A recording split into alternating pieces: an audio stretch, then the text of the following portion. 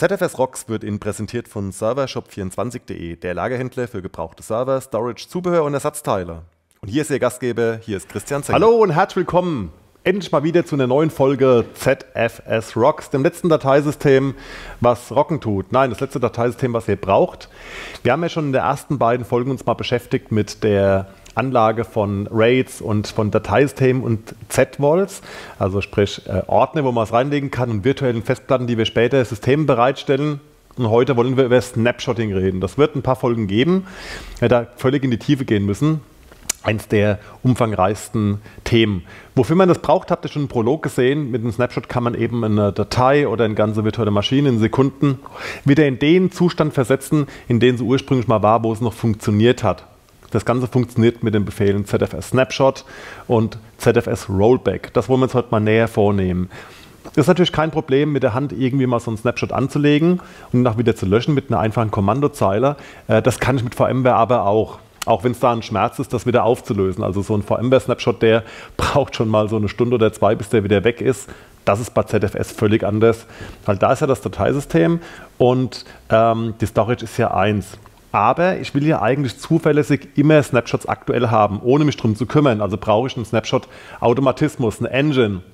Und die kommt mit OpenZFS nicht mit. Das heißt also, ihr müsst euch selber darum kümmern, äh, wo die Snapshots herkommen. Da gibt es verschiedene Ansätze. Zum einen mal gibt es FreeNAS, bringt eine Snapshot-Engine mit, die erstmal, ja, wo man denkt, ich kann hier einen Snapshot in einer gewissen Frequenz machen. Wichtig ist aber auch mit einer gewissen Aufhebezeit.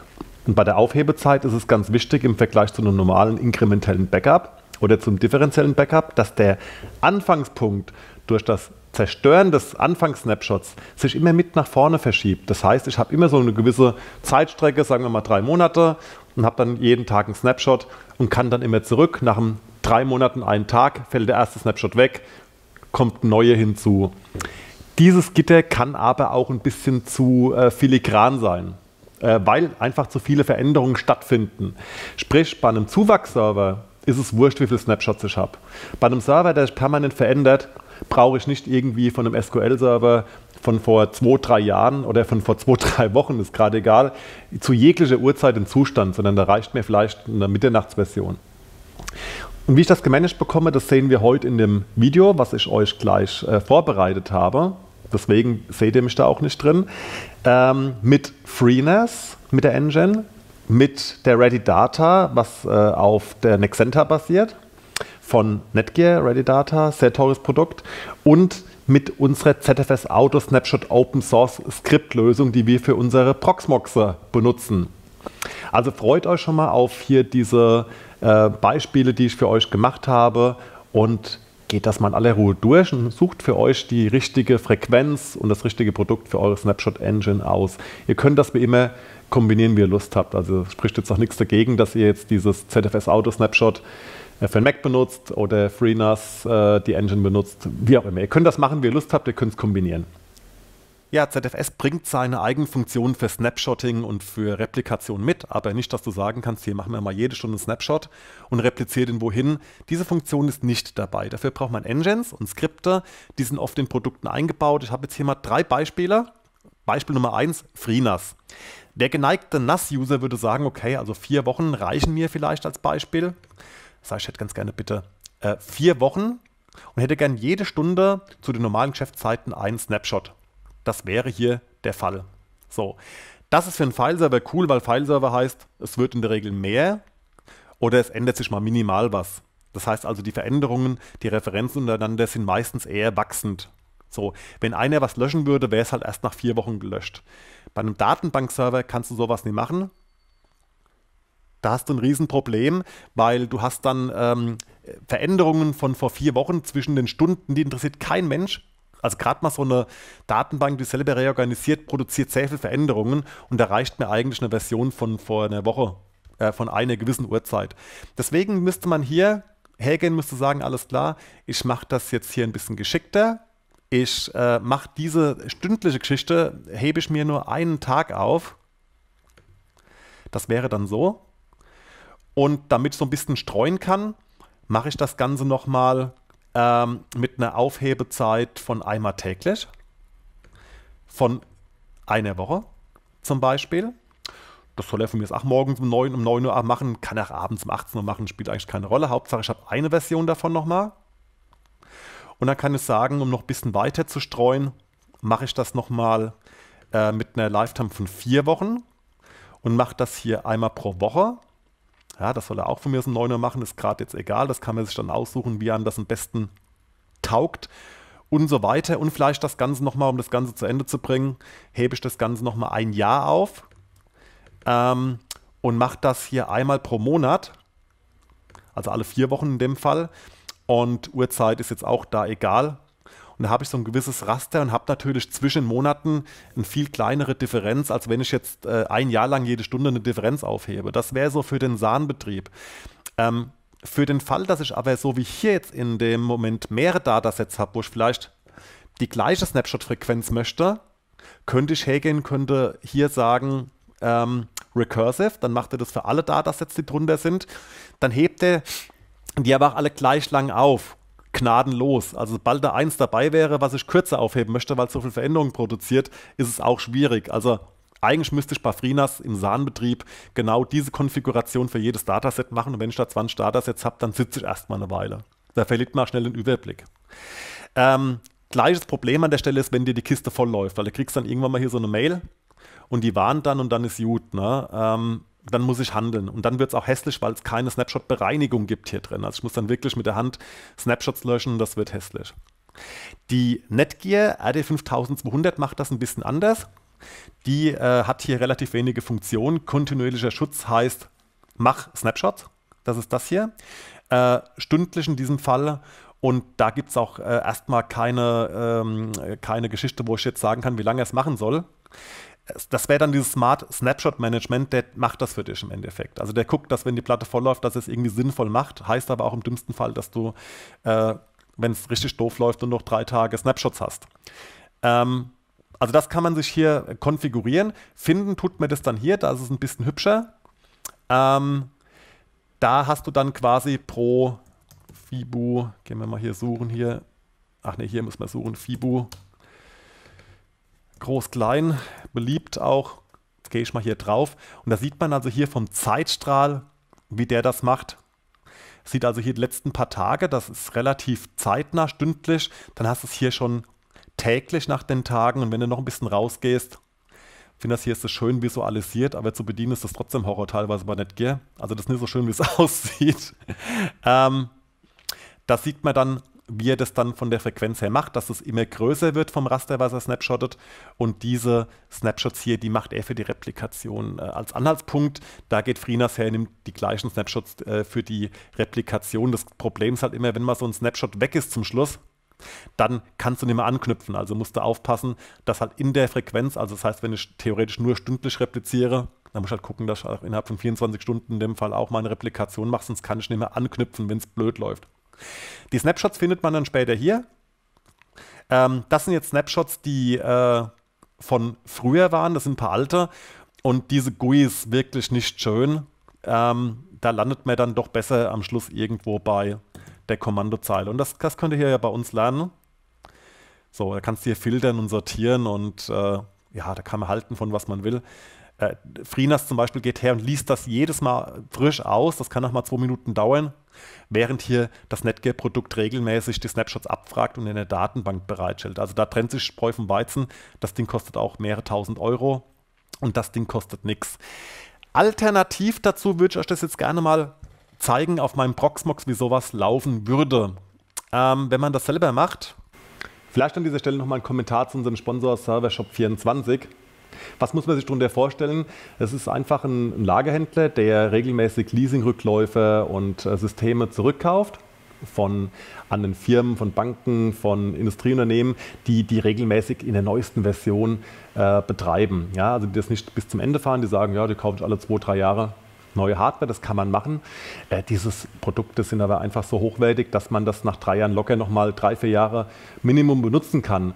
Und äh, ja, die testen das im Endeffekt, die spielen neue Firmware ein, die gucken, dass alles funktioniert, machen die sauber und verkaufen die wieder an Leute wie mich oder an andere. Und äh, hat auch den netten Nebeneffekt, dass man also genau sich das nochmal verstückeln kann. Oder man hat vielleicht schon einen Server, will sich einen zweiten Standby nochmal dazu holen. Ja, mit Proxmox kann man das wiederum klonen. Da hat man den Server von damals noch, vielleicht das gleiche Modell nochmal von Servershop 24 gekauft. Spiegelt sich das Ganze günstig für einen Bruchteil von dem, was es damals gekostet hat. Und äh, die haben auch verschiedene Service-Pakete dass ihr da schnell Ersatz bekommt und Ersatzteile, Erweiterungen in Form von RAM und in Form von Festplatten und von äh, ILO-Lizenz habe ich letztens gebraucht mal. Die hätte mich bei Amazon irgendwie 60 Euro gekostet. Die habe ich jetzt hier für, ich glaube, 30, 40 Euro bekommen, also auch deutlich günstiger. Da einfach mal im Detail im Shop gucken, was ihr braucht und mal vergleichen. Ich würde mich persönlich da nicht kaufen lassen, wenn ich da nicht dahinter stehen würde. Ähm, wir haben das eigentlich schon ziemlich lange vorher schon so gefahren, nur dass ich mich da von äh, eBay und Co. bedient habe. Also tatsächlich habe ich noch um die Weihnachtszeit ähm, einen Server gekauft für einen Kunden, einen zweiten, weil ich da Bedenken hatte. Und es war tatsächlich so, dass äh, direkt an Weihnachten oder kurz nach Weihnachten, ich weiß gar nicht mehr genau, wie es war, nein, es war nach Neujahr gewesen, äh, dieser Server gestorben ist und dank ZFS und Proxmox konnte ich dann sofort das Backup-System, was ich mir dann gebraucht geholt hatte, damals noch nicht von Servershop 24, hochfahren. Der ganze Ausfall hatte mit der Erkenntnis, dass äh, das Quellsystem jetzt Ärger, komplett Ärger macht, nicht mehr geht. 15 Minuten gedauert es gab, dadurch, dass der noch ging, keinen Dateiverlust oder irgendwas, was kaputt ging. Also so muss das laufen. Und äh, ja, egal, ob ihr da jetzt irgendwie ein kleines NAS braucht oder eine große Virtualisierungslösung, schaut mal bei Servershop 24 vorbei und bestückt das Zeug mit guter Software. Und gute Software ist eben FreeNAS, das ist Proxmox. Das sind diese Produkte, die da Spaß machen. Ja, aber warum auch nicht eure Windows-Lösung oder euer VMware? Einfach beraten lassen und wenn ihr da nochmal Detailberatung braucht für die Software und für die Integration, dann scheut nicht, mich unter christian.sysops.de zu kontaktieren und wir machen da gerne ein Angebot. Und äh, wir bieten den Kunden von Servershop24 auf unsere Standardstundensätze 20 äh, Prozent und es gibt auch Langzeitverträge, die noch günstiger sind. Für Betreuung und Wartung per Remote und auch vor Ort. Das kann gerne Deutschland und weltweit sein. Ja, kontaktiert uns einfach und schaut bei Servershop24 vorbei. Liebe Grüße nochmal an den Sebastian und äh, Dankeschön nochmal für die Unterstützung. Ja, und hier ist wieder mein, mein berühmter äh, Proxmox, mit dem ich hier arbeite, auf dem immer verschiedene Sachen getestet werden, auch und laufen. Und hier habe ich schon für die nächste Zeit, wenn mein Carrier-Abonnement ausläuft, mal wieder den Exchange 2016 im Einsatz vorbereitet.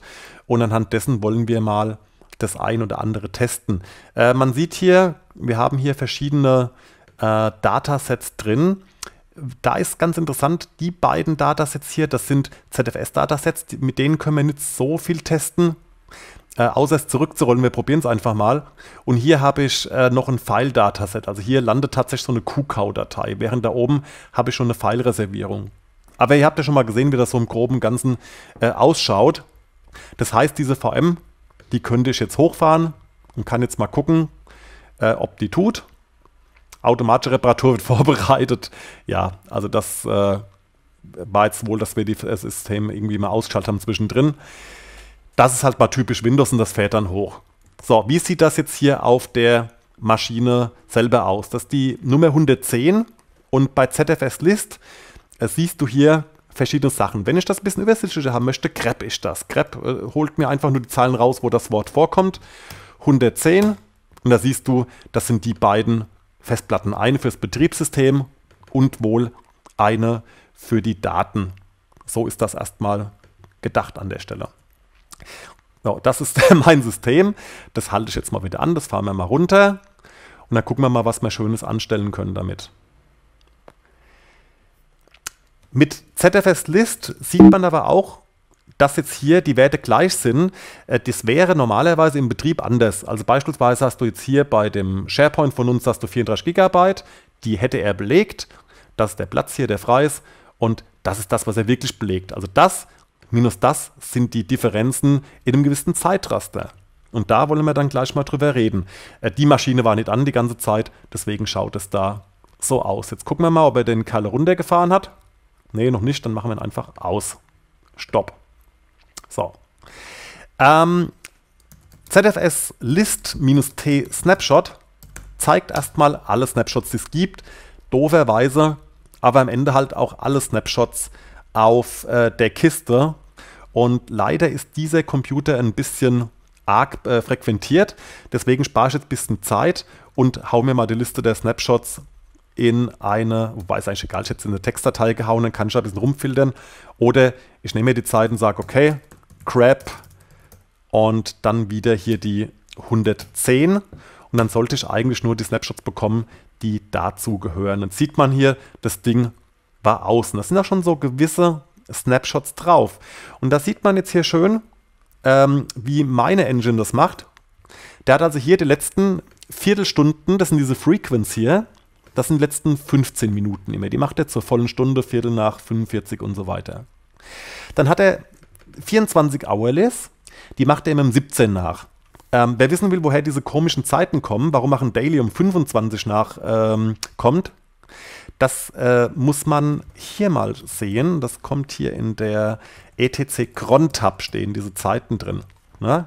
Also das heißt, ein Cron Daily läuft um 25, ein äh, Weekly hier um 47, ein Hourly um 17 nach und der Monthly hier. Und da wissen wir schon genau, wo unsere Skripte liegen, die das machen, nämlich genau in diesem Faden hier später. Und man sieht dann also hier schön hier die Dailies, die Hourlies. Kann ich sagen, hier ähm, filter mir das jetzt mal raus und zeigt mir doch mal von der VM 110 ähm, alle Snapshots, die äh, zum Beispiel jetzt äh, Weekly sind. Entschuldigung, Crap Weekly natürlich. Ja, und da sieht man hier, ich, ich, hebe hier 1, 2, 3, 4, 5, 6, 7, 8, 9, 10, 11, 12, 13, 14, 15 auf. Und, ach nee, ist nicht ganz richtig, sind zwei verschiedene Platten, ne? Disk 1 und Disk 2, also sind es 1, 2, 3, 4, 5, 6, 7, 8. Also acht Wochen hebe ich hier im Moment pro Festplatte auf. So, hier kann man das schön sehen, wie das hier läuft. Ähm, wie kommen diese, diese Snapshots zustande? Das ist eigentlich relativ einfach. Ähm, ich kann jetzt noch mal ganz kurz hier die Snapshots rausholen. Sehen wir mal die, die, die äh, Betriebssystemplatte, die erste. Das wäre nämlich die 110 minus Disk minus 1. Da habe ich alle Snapshots und es hindert mich keiner daran zu sagen, okay, ZFS Snapshot, das ist der Befehl. Jetzt muss die genau die Syntax hierher. Das ist das Dataset. Und alles, was hier kommt nach dem Add, ist ein Name. Und der kann heißen, wie er will. Ich kann auch sagen hier, Karl-Heinz. Ja? Und dann habe ich einen Snapshot. Und da kann ich auch jederzeit zurückgehen. Wenn ich diesen Karl-Heinz loswerden will, weil keine Instanz dieser Welt, der würde immer bleiben. Also das heißt, der neueste Snapshot würde immer in Referenz zum Karl-Heinz bleiben, bis die Platte voll läuft. Deswegen musst du nach einer gewissen Zeit diesen Befehl Destroy wieder machen. Wir listen uns gerade nochmal die Liste auf. Hier siehst du es und dann sagst du alles klar, ZFS Destroy und dann nimmst du hier den Karl-Heinz raus und dann ist der weg beim nächsten Mal. So ist das gedacht.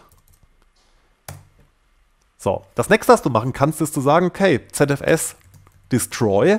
Ähm, ich nehme jetzt einfach mal eine Stunde zwischendrin raus. Und es hat im Endeffekt eigentlich nur die Relevanz, dass also hier jetzt einer fehlt. Das heißt, zwischen dem und dem hast du nur noch die Veränderung von hier nach hier, aber nicht mehr zum Beispiel von hier nach hier nach hier, was in der Regel mehr Platz belegt. Bei einer VM, wie sie hier aus war, spielt es keine Rolle. Das können wir auch mal mit einer ähm, Kiste machen, zum Beispiel, die im Betrieb ist. Das frisst jetzt hier kein Brot. Ähm, dazu nehmen wir allerdings mal ZFS Get Written. Da sehen wir mal genau, äh, wie groß das Zeug ist. Dann nehme ich jetzt mal hier meinen SharePoint-Server. Ähm, grep sp-add. Also ich habe hier nur SPF, deswegen mache ich hier das Add noch mit rein. Dann sehe ich hier genau, wie viel Veränderung der pro Stunde so der SharePoint hier produziert. Und das ist ohne Auslagerungsdatei, weil die Auslagerungsdatei habe ich auf einer eigenen Platte. So, und wenn ich jetzt hergehe und sage, alles klar, ich nehme jetzt mal hier diesen 6.17 und sage hier ZFS Destroy, 6.17 dann hat es eigentlich keine andere äh, Relevanz, als dass ich nur noch von dieser Uhrzeit äh, mir Daten holen könnte und von dieser, aber nicht von dieser. Aber im Idealfall ist es nicht das Doppelte. Und schauen wir mal, was das für eine Auswirkung hat. Also wir erinnern uns, waren immer so um die 130 MB gewesen. Und jetzt müsste der hier gleich fehlen. Wir sehen das hier. Und man sieht also hier die Veränderung von 5 Uhr zu 7 Uhr ist auch nur so um die 130 MB. Ein ganz klein wenig mehr als vorher, aber nicht das Doppelte. Und das ist mein Punkt. Deswegen macht es Sinn, hier ein bisschen granularer das Ganze aufzubauen. Und wie kommt es dazu? Und da gibt es ein ganz schönes äh, Skript dazu. Das findet ihr bei ähm, ZFS Auto Snapshot, heißt das. Bei GitHub. Und das könnt ihr euch da einfach runterladen. Das gibt es für Mac und für Linux, gibt es verschiedene Installer. Und das wird eigentlich ganz banal installiert. Du lädst dir das ZIP runter und äh, das müsste eigentlich vielleicht noch mit ein bisschen Glück hier im äh, Ding liegen. Genau, ZFS Auto Snapshot Master, du packst das dann und dann machst du hier einfach ein Make Install. Einfach Make Install. Und dann entpackt er das und packt das gleich in die richtigen Ordner rein. Und dann schaust du hier einfach mal nach etccron.hourly oder daily. Und da gibt es dann dieses ZFS Auto Snapshot. So, bei mir, ich habe das noch ein bisschen umbenannt. Und da siehst du, hier habe ich jetzt 31 eingetragen. Also 31 Tage soll er mir aufheben. So, wenn ich jetzt bei Weekly schauen würde, na, mal den Ton hier leise machen.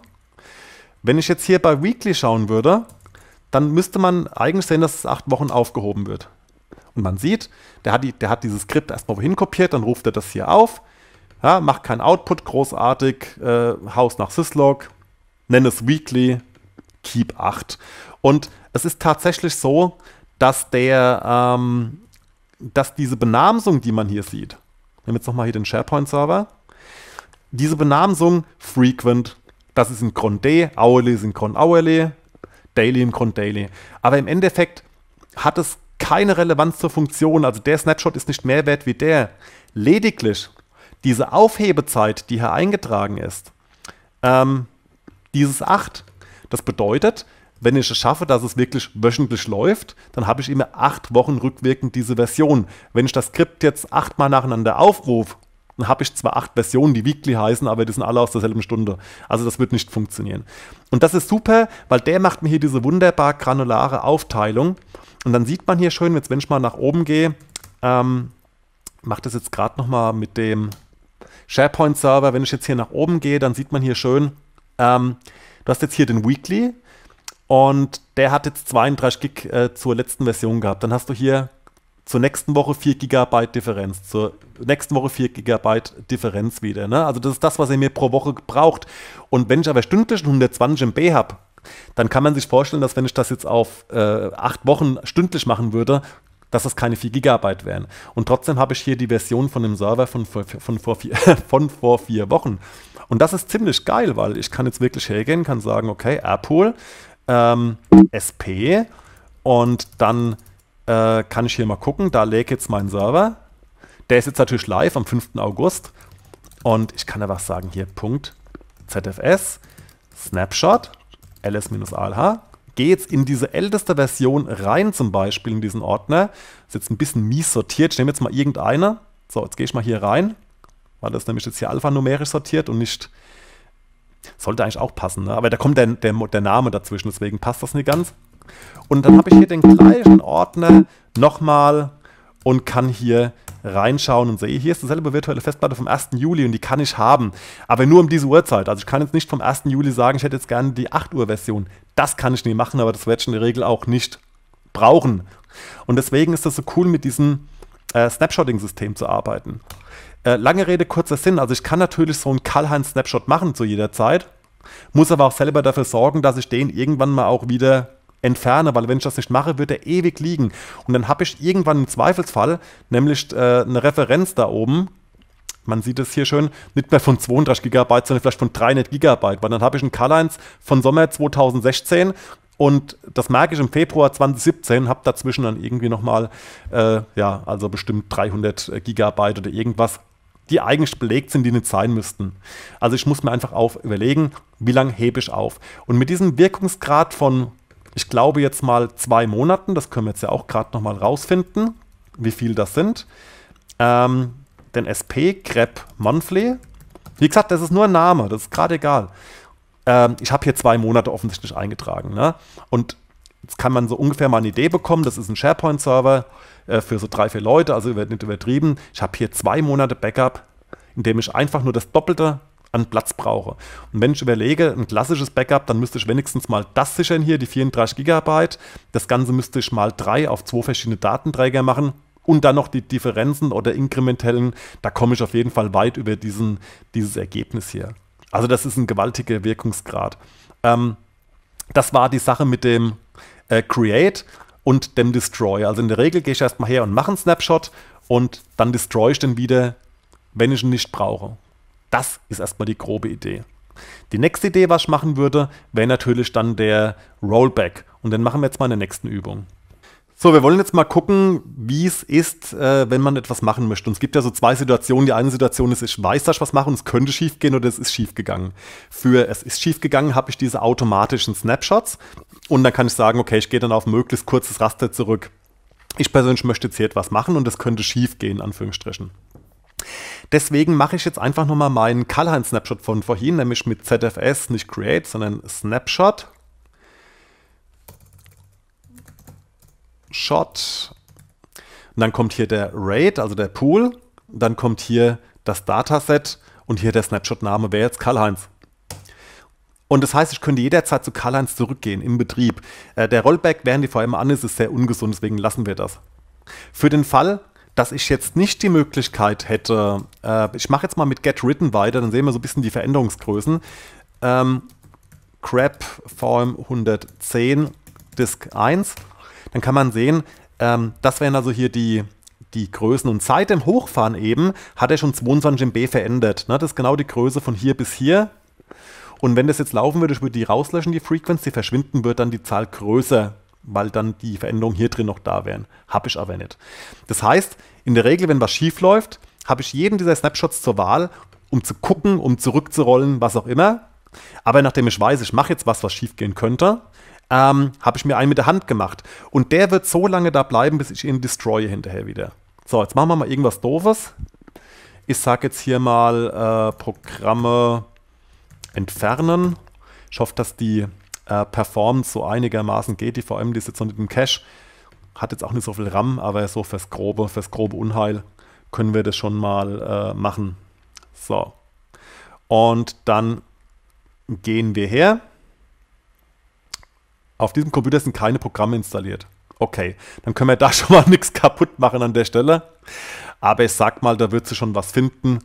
Äh, wir könnten ja uns mal eine Eingabeaufforderung machen. Irgendeinen Blödsinn, dann gehen wir mal nach C Windows und ähm, schauen mal, wie es da ausschaut und machen mal einen Dell Stern. Ja, löschen mal alles, was so geht. Ja, das war auf jeden Fall keine gute Idee gewesen. Dann gehen wir nach System 32 äh, was gibt es denn hier noch so? Also es gibt es ja gar nicht mehr. Okay, gucken wir mal, ob da was drin ist. Das gibt es nicht mehr. Also gibt es kein System 32. Gibt da, doch. Da ist er. So, und dann haben wir auch nochmal einen Dell-Stern. Das ist bestimmt auch voll die blöde Idee. 2500 Dateien oder 2569. Das merken wir uns jetzt mal. Mal löschen mal, was geht. äh, hat es ein bisschen gereicht.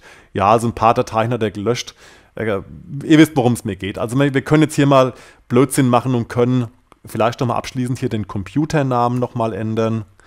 Ah, diese Kacheloberfläche, das ist schon so toll, oder? Das macht so, findest halt nichts mehr. Seit Jahren kriege ich diese Windows-Kisten nicht mehr bedient.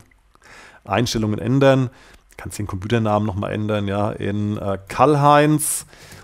Und ähm, ja, da wären wir jetzt gleich da, haben wir geändert. So, es ist natürlich eine äußerst blöde Idee, ähm, jetzt hier irgendwas an einem Dataset zu machen, weil du würdest die Kiste wirklich im Betrieb, würdest du ihr die Existenz wegnehmen. Also wenn ich jetzt hier den sogenannten ZFS Rollback mache, ähm, dann würde ich ja ihm die Platte, die er zur Kenntnis nimmt, im Betrieb würde sich verändern, würde einen ganz anderen Zustand haben. Äh, das heißt, beim Reset dann wäre vielleicht was kaputt. Deswegen gehe ich wirklich her und mache den jetzt erstmal aus ich halte da wirklich aus, weil ich werde definitiv diese VM killen. Und dann, wenn der aus ist, kann ich hergehen, kann sagen hier, so, sollte jetzt gleich hoffentlich da sein, jawohl, äh, mach mal diesen Rollback. So, das ist schon passiert. Und was jetzt passiert ist, ähm, wenn ich jetzt hier wieder schaue und abhole, ähm, Achso, das ist keine gemountete, das ist kein gemountetes Dataset. Normalerweise, wenn es jetzt gemountet wäre, man sieht hier, das ist nicht da, da gibt es keine Ordner, ähm, dann würde man sehen, dass diese virtuelle File, das ist dann eine, eine RAW oder eine VMDK oder eine QKOW, die wäre wieder auf dem alten Datum. Das kann ich jetzt hier nicht mehr abfragen an der Stelle. Das ist ein bisschen schade, aber ich habe es gemacht und jetzt, wenn ich die Kiste wieder anschalte, dann kann ich die wieder hochfahren.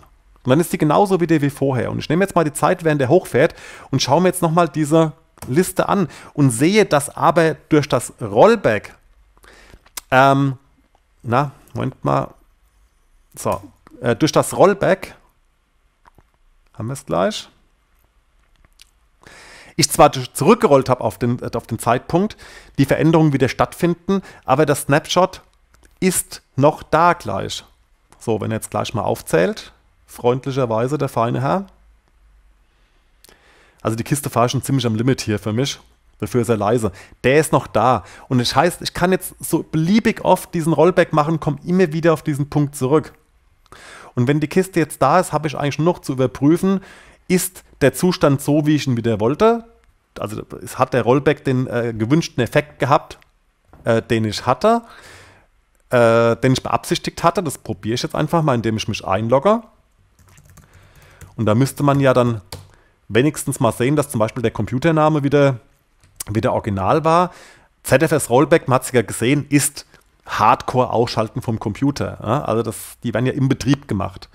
Da kann man auch einen schönen Trick machen, dass man zu Snapshot-Zeiten Datenbanken runterfährt. Ist wie ein Backup und tada, das ist wieder da. Und ähm, ich glaube, wenn wir jetzt hier mal nach C, ich mache es jetzt mal der Vollständigkeit halber, aber ich glaube, ihr glaubt mir das auch so kann ich jetzt auch sagen, äh, äh, kann ich jetzt auch gucken und habe dann hier wieder die 2569 Datei, nicht die 2530 Datei, die ich vorhatte. Das ist, dem System geht es wieder gut. Also gehe ich jetzt her, bin zufrieden und gehe meine Wege. Ähm, ich persönlich muss jetzt aber den ZFS Destroy machen, nämlich diesen Karl-Heinz wieder weghauen, weil der würde sonst hier für ewig bleiben, die anderen Snapshots bleiben und die Frequenzen, wenn es zu voll wird, könnte ich reduzieren. Sollten in der Zwischenzeit nach den Carlines noch ein paar Snapshots gekommen sein, müsste ich den Destroy mit minus R machen, der ist dann rekursiv. Das sind so die Sachen, wo FreeNAS in der GUI nicht kann. Und wenn man das im Griff hat, da brauchst du doch keine GUI. Einfach mit ZFS. Mach das gerade nochmal mit getWritten, da sehe ich dann die Größen.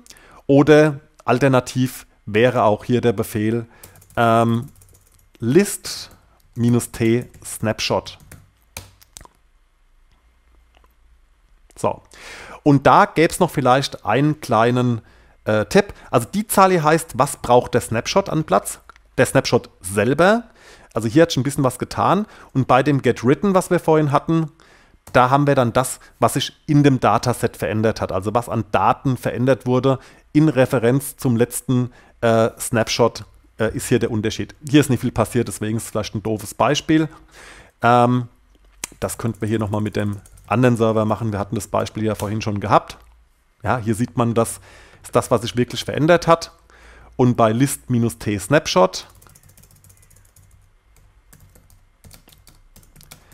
würde ich sehen, was der Snapshot selber on top nochmal braucht, die Verwaltung des Snapshots.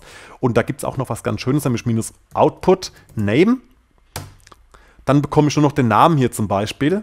Und wenn ich jetzt irgendwie ein Skript machen wollte, was mir alle Snapshots löscht, dann könnte ich sagen, hier alles klar, ähm, nimm das hier und hau mir das in eine Datei, äh, deleteme.sh und dann hätte ich schon mal äh, ein, ein Anfangsskript, wo hier alles drinsteht. Ich werde in den Show Notes dann nochmal ein, ein kleines Skript oder einen kleinen Befehl bereitstellen, der euch ein Skript erzeugt, was alle Snapshots eines gewissen Datasets löscht, weil das ist eigentlich nirgendwo so vorgesehen.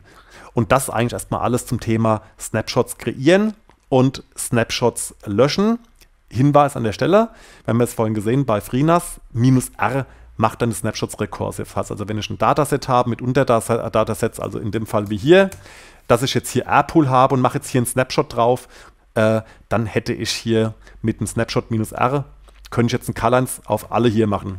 Und dann müsst ihr auch wieder entfernen, das spare ich euch jetzt und vor allem mir hier an der Stelle.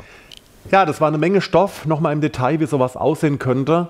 Und den richtigen Weg könnt ihr eigentlich nur herausfinden, wenn ihr sowas mal mindestens eine Woche laufen lasst. Also ich empfehle euch, macht die Aufhebzeit mal eine Woche, macht die letzten 24 Stunden, die letzten äh, sieben Tage und äh, vielleicht dann nochmal die letzten vier Wochen. Und dann guckt euch mal die Differenzen an von Woche zu Woche die Differenzen von Tag zu Tag und die Differenzen von Stunde zu Stunde mit ZFS Written kann man sich das anschauen und dann findet ihr für euch auch den richtigen äh, Balanceakt äh, zwischen ja, zu viel und zu wenig Snapshots. In jedem Fall ist es ganz wichtig, dass ihr niemals mit Z-Pull-Status auf eine Usage von über 80% kommt und auf keinen Fall über 90%, dann ist das System fast unbrauchbar. Ja, das war es wieder für eine wunderbare Folge ZFS Rocks. Äh, ich hoffe, dass ihr uns hier bei YouTube abonniert. Jetzt ist es spiegelverkehrt, dann müsste das eigentlich hier unten müsste der Button sein. Ich hoffe, es wird lustig. Äh, es passt. Aber wir sind auch im iTunes-Verzeichnis gelistet als ZFS Rocks Podcast. Einfach nach Christian Zengel suchen bei YouTube äh, oder bei äh, bei äh, iTunes Directory. Da findet ihr auch was mit Flippern. Das könnt ihr auch gerne abonnieren. Aber nichtsdestotrotz äh, schaut bei uns rein. Ja, und wenn ihr eine Firma seid und wollt das einsetzen und habt da Interesse daran oder habt Interesse an der Schulung, das ist auch geplant, dann äh, kontaktiert mich hier unter christian.sysops.de oder cpzengel bei Twitter. Ja, übrigens Facebook-Anfragen nehme ich keine an. Das äh, ist dann eher so ein regionales Ding für mich. Ja, vielen Dank und auf Wiedersehen. Und vielen Dank nochmal an die Firma Servershop24, die uns das Ganze möglich macht. Wiedersehen.